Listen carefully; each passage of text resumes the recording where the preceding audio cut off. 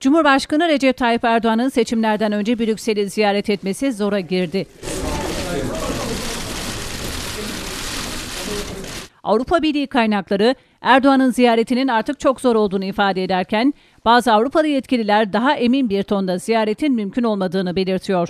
Bunun altında yatan nedenlerin ise yaklaşan seçimler, iktidarın icraatları ve Erdoğan'ın Avrupa Birliği karşıtı söylemleri olduğu ifade ediliyor.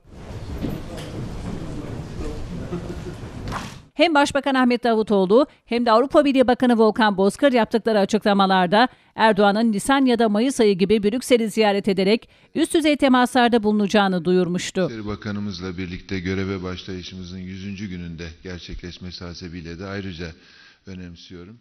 Avrupa Birliği kaynakları Erdoğan'ın muhtemel ziyaretine ilişkin Avrupa Birliği kurumlarında herhangi bir planlama yapılmadığına ancak Belçika'ya ikili bir ziyareti her zaman gerçekleştirebileceğine işaret ediyor. Avrupa Birliği yetkilileri Davutoğlu'nun ziyaretinin ardından Erdoğan'ın Brüksel'i ilkbaharda ziyaret etmesi için ön bir mutabakat sağlandığını ancak daha sonraki gelişmeler üzerine ziyaretin gündemden düştüğünü belirtiyor.